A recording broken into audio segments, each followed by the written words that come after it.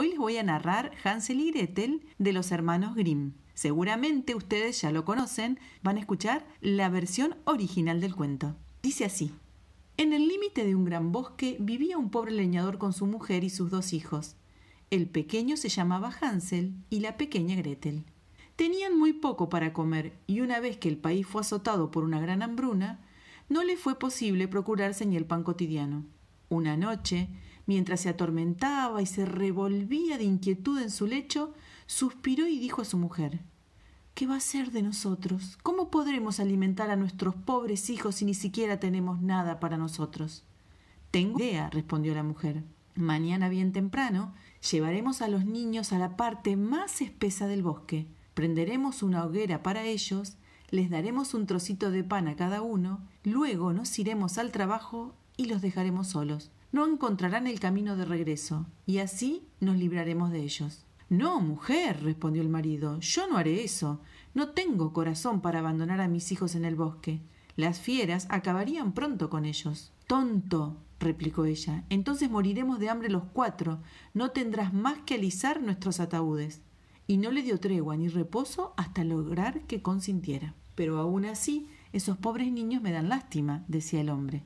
A causa del hambre, los dos niños tampoco habían podido dormirse y oyeron lo que la madrastra decía a su padre. Gretel lloró amargamente y dijo a Hansel ¿Y ahora qué será de nosotros?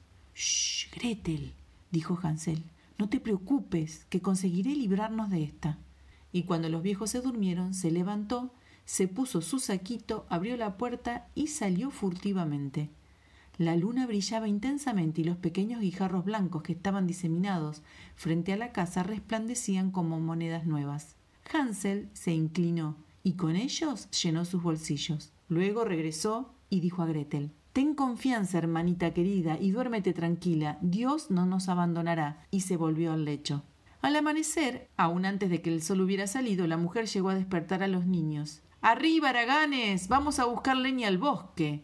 Luego les dio un trocito de pan a cada uno diciéndoles tengan algo para el almuerzo, pero no lo coman antes porque no tendrán nada más. Gretel puso el pan bajo su delantal porque Hansel tenía los bolsillos llenos con los guijarros. De inmediato, todos emprendieron camino hacia el bosque. Al cabo de un corto trecho, Hansel se detuvo y miró en dirección a la casa. Así hizo varias veces más hasta que el padre le dijo ¿Qué tienes que mirar nada atrás? Presta atención y apúrate. Lo que pasa, padre, respondió Hansel, es que miro a mi gatito blanco, está encima del techo y quiere decirme adiós. Tonto, dijo la mujer, no es tu gatito, es el sol de la mañana que brilla en la chimenea. Sin embargo, Hansel no miraba a su gatito, sino que cada vez que se volvía, arrojaba al camino uno de los guijarros blancos que llevaba en el bolsillo. Cuando llegaron al corazón del bosque, el padre dijo Ahora recojan leña, hijitos, que voy a prender fuego para que no sientan frío. Hansel y Gretel hicieron una montañita de ramas, encendieron el haz y cuando las llamas estuvieron altas, la mujer dijo Acuéstense cerca del fueguito, hijitos, y descansen. Cuando terminemos los venimos a buscar. Hansel y Gretel permanecieron sentados cerca del fuego, y cuando llegó el mediodía, cada uno comió su trocito de pan. Como oían los golpes del hacha, creían que su padre estaba en las cercanías pero no era el hacha lo que sonaba, sino una gruesa rama que habían atado a un árbol seco y que de tanto en tanto el viento agitaba. Como permanecieron así tanto tiempo, los ojos se les cerraron de fatiga y se durmieron profundamente. Cuando despertaron era noche cerrada, y Gretel se puso a llorar y dijo ¿Cómo haremos ahora para salir del bosque? Pero Hansel la consoló. Espera que salga la luna, entonces encontraremos fácilmente el camino. Y cuando la luna llena apareció, Hansel tomó a su hermanita por la mano y se puso en camino siguiendo los guijarros blancos que al brillar como monedas nuevas les mostraban el rumbo. Caminaron durante toda noche y llegaron a casa de su padre al amanecer. Golpearon la puerta y cuando la mujer abrió y vio que eran Hansel y Gretel dijo Niños malos, ¿cómo durmieron tanto en el bosque? Creíamos que no querían volver más. Pero el padre, que estaba muy arrepentido de haberlos abandonado, se alegró mucho de verlos y los abrazó. Poco tiempo después, la miseria volvió a batirse sobre todo el país y los niños oyeron a la mujer que le decía una noche a su padre Ya nos comimos casi todo lo que teníamos, nos queda solamente la mitad de un mendrugo y luego se habrá acabado todo. Es necesario que se vayan. Los conduciremos más lejos, aún dentro del bosque, para que no encuentren el camino de regreso. No hay otra salvación para nosotros. El hombre sintió que un peso le oprimía el corazón y pensó, más valdría compartir el último bocado con tus hijos. Pero la mujer no quiso escucharlo en sus protestas, lo injurió y le hizo reproches. Como lo que siempre vale es el primer paso, y como había cedido una primera vez, fue obligado a ceder una segunda pero los niños permanecían aún despiertos y habían oído la conversación de los padres. Cuando los viejos se durmieron, Hansel se levantó y quiso ir a recoger guijarros como la vez anterior, pero la mujer había cerrado la puerta con llave y no pudo salir. Sin embargo, consoló a su hermana y le dijo No llores, Gretel, y duerme tranquila, Dios nos ayudará. Al amanecer, la mujer vino a buscar a los niños al lecho, les dio un trozo de pan que era más pequeño que el de la vez anterior. Mientras caminaba hacia el bosque, Hansel lo desmigajó en su bolsillo y a cada rato se detenía y arrojaba una miga al suelo. Hansel, ¿por qué te detienes a mirar hacia atrás? dijo el padre. Vamos, continúa tu camino. Miro a mi palomita, respondió Hansel. Está sobre el tejado y quiere decirme adiós. Tonto, dijo la mujer. No es tu palomita, es el sol que resplandece en la chimenea. Pero poco a poco Hansel fue arrojando todas las migas del camino. La mujer condujo a los niños más lejos aún dentro del bosque, hasta un lugar recóndito donde jamás habían estado. Luego encendieron una gran fogata y la madre les dijo Quédense aquí, niños, y cuando se cansen pueden dormir un poco. Nosotros vamos a cortar leña en el bosque y a la noche, cuando hayamos terminado, vendremos a buscarlos. Cuando llegó el mediodía, Gretel compartió su pan con Hansel, que había sembrado con su trozo todo el camino. De inmediato se durmieron, y el día pasó sin que nadie viniera a buscar a los pobres niños. Se despertaron ya muy entrada la noche, y Hansel consoló a su hermanita diciéndole Esperemos que salga la luna, mientras veremos las migajas que dejé caer y ellas nos mostrarán el camino a la casa. Cuando la luna salió, se pusieron en marcha, pero no encontraron una sola amiga, puesto que los miles y miles de pájaros que vuelan sobre los bosques y los campos las habían comido. Hansel dijo a Gretel, encontraremos el camino, pero no lo encontraron. Caminaron toda la noche y todo un día desde la mañana a la noche, pero no pudieron salir del bosque. Tenían mucha hambre, ya que no podían comer nada más que algunas bayas que crecían en el suelo. Como estaban tan cansados que sus piernas se negaban a sostenerlos, se acostaron bajo un árbol y se durmieron. El tercer amanecer, desde que abandonaron la casa paterna, comenzó a asomarse. Reemprendieron el camino, hundiéndose cada vez más en el bosque. Y sí, pronto alguien no acudía en su ayuda, seguramente morirían, morirían de hambre. A mediodía vieron parado en una rama un hermoso pajarito blanco como la nieve. Cantaba tan bien que se detuvieron para escucharlo. Cuando terminó, tomó impulso y con un batir de alas voló frente a ellos. Ambos lo siguieron hasta una casita en cuyo techo se posó. Acercándose, vieron que la cabaña estaba hecha de pan, con el techo de pastel. Las ventanas eran de pura azúcar. Aprovechemos, dijo Hansel, para comer bien. Yo voy a comer un trozo de techo y tú, Gretel, puedes comer un trozo de ventana. Es muy dulce. Hansel se subió y rompió un trozo de tejado para probar qué gusto tenía. Gretel se puso a roer algunas baldositas. Fue entonces que una voz muy dulce salió de la sala.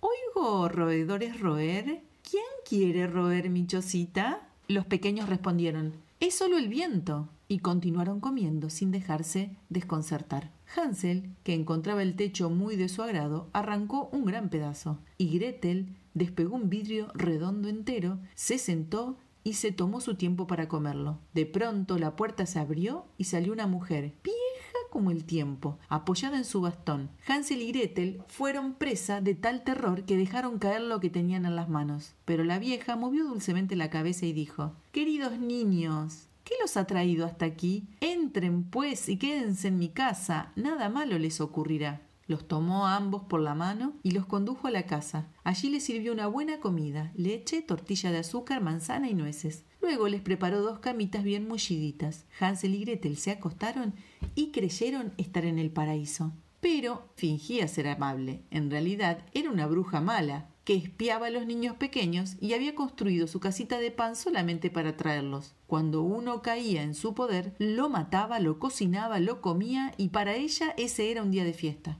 Las brujas tienen los ojos rotos y la vista de poco alcance, pero en cambio tienen tanto olfato como los animales del bosque y su nariz siente la proximidad de los hombres. Cuando Hansel y Gretel llegaron a sus dominios, ella sonrió malignamente y dijo, "Hmm, no se me escaparán. Se levantó muy temprano al amanecer antes que los niños se despertaran y viéndolos reposar tan dulcemente con sus mejillas redondas y rojas, murmuró en voz baja, ¡Qué manjar exquisito!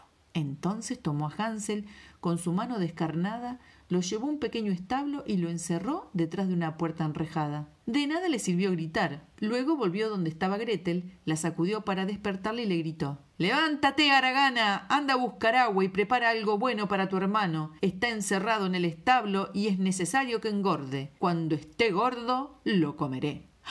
Gretel se puso a llorar amargamente, pero tuvo que hacer lo que la bruja le ordenaba. Entonces se prepararon para el pobre Hansel los mejores platos y para Gretel solo quedaban los caparazones de los cangrejos. Todas las mañanas la vieja se arrastraba al pequeño establo y gritaba Hansel, muéstrame los dedos para ver si engordas. Pero Hansel le tendía un huesito a la vieja, que tenía la vista defectuosa y no podía distinguirlo. Creía que era uno de los dedos de Hansel y se asombraba de que no engordara. Pasadas cuatro semanas sin que Hansel engordara, la impaciencia la desbordó y no quiso esperar más. Gretel, gritó la niñita, apúrate y trae agua. Gordo o flaco, mañana mataré a Hansel y lo cocinaré. Cuánto se lamentaba la pobre hermanita y cómo corrían las lágrimas por su rostro mientras llevaba el agua. ¡Oh, mi Dios, ayúdanos! exclamaba. Si las fieras nos hubieran despedazado en el bosque, al menos habríamos muerto juntos. Ahórrame tus lloriqueos, dijo la vieja, no te servirán de nada. Al amanecer, Gretel debió salir, colgar la marmita de agua y encender el fuego. Primero, dijo la vieja, vamos a hacer el pan. Yo prendí el horno y preparé la masa. Luego empujó a Gretel hacia el horno de donde salían llamas. Entra, dijo la bruja, y ve si hay buena temperatura para hornear el pan. Cuando Gretel estuviera dentro, ella cerraría la puerta, la asaría y se la comería a ella también. Pero la pequeña adivinó lo que la bruja pensaba y le dijo No sé cómo hacer para entrar ahí dentro. Boba, dijo la bruja, la entrada es bastante grande. Fíjate, hasta yo misma podría entrar. Se acercó hasta el horno y metió la cabeza en la boca. Entonces Gretel la empujó con tanta energía que la bruja se fue hasta el fondo. Luego cerró la puerta de hierro y echó el cerrojo. La vieja lanzaba aullidos horribles, pero Gretel escapó y la bruja malvada ardió miserablemente. Gretel corrió en busca de Hansel, abrió la puerta del establo y exclamó Hansel, nos hemos salvado. La vieja bruja se murió. El pequeño saltó hacia afuera como un pájaro al que le abren la puerta de la jaula. La alegría de los niños fue enorme. Se abrazaron, brincaban de un lado para otro, saltaban. Como no tenían ya nada que temer, entraron a la casa de la bruja. En todos los rincones había cofres llenos de perlas y de piedras preciosas. Esto vale más que nuestros guijarros, dijo Hansel, y llenó tanto como pudo sus bolsillos. Yo también voy a llevar algo a nuestra casa, dijo Gretel mientras llenaba su delantalcito. Ahora hay que partir, dijo Hansel, para abandonar el bosque encantado. Después de caminar durante algunas horas, llegaron al borde de un río, de un gran río. No podemos pasar, dijo Hansel. No veo pasarela ni puente. Tampoco hay bote, dijo Gretel, pero allá hay un pato blanco que está nadando. Si se lo pido, nos ayudará a pasar. Entonces exclamó Pato, patito, no hay vado ni puente. Te piden, patito, Hansel y Gretel, que sobre tu lomo de plumas lo lleves. El pato se aproximó, Hansel subió sobre sus alas y le dijo a su hermanita que hiciera lo mismo. No, respondió Gretel, sería mucho peso para el patito. Nos pasará a uno primero y al otro después. Y así lo hizo la buena ave. Y cuando alcanzaron felizmente la orilla opuesta, después de hacer un pequeño tramo del camino, el bosque empezó a resultarles cada vez más conocido, hasta que finalmente distinguieron la casa paterna. Entonces se echaron a correr, se precipitaron en la sala y saltaron al cuello del padre. El hombre no había tenido un solo momento de alegría desde que había abandonado a los niños en el bosque. La mujer había muerto. Gretel sacudió su delantal de modo que perlas y piedras preciosas se pusieron a brincar en el suelo, mientras que Hansel, vaciando sus bolsillos, sacaba puñados y puñados. Y así se acabaron las preocupaciones y todos vivieron felices para siempre. Mi cuento ha acabado.